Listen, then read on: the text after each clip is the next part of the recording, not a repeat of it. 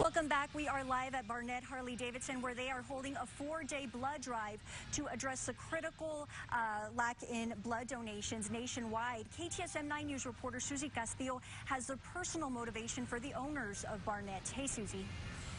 That's right. For the owners of Barnett Harley Davidson, it's not just about doing something good for the community, but it's personal for them. Now, I'm joined by Kim Barnett, who's the owner of the dealership in Las Cruces. Thank you for joining us, Kim. Sure. Glad to be here.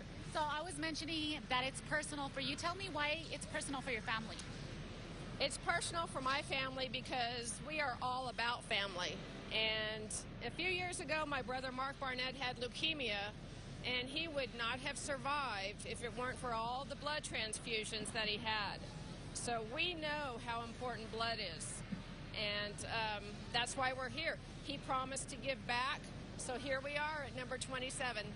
Oh, that sounds great. Now, for those who are still unsure about coming down and they might be hesitant, what do you tell them to convince them to come down and roll up their sleeves?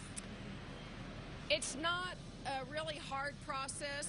It might be a little uncomfortable, but it's not painful. It doesn't take that long. Plus, we're giving away a Harley Super Glide Custom, and that's pretty cool. And of course, there's the goodie bag and t-shirt and lots of snacks. So it's a fun environment. If you have to give blood, why not do it here at the Harley shop? Okay, awesome. And then you're going to be until Sunday, right? Yeah, through sun- Sunday through 5 o'clock at both stores, Barnett Harley Davidson in El Paso and Barnett's Las Cruces Harley Davidson in Las Cruces. Oh, great. Thank you so much for joining us. Oh, yeah. this is lots of fun. All right, back to you, Natasha.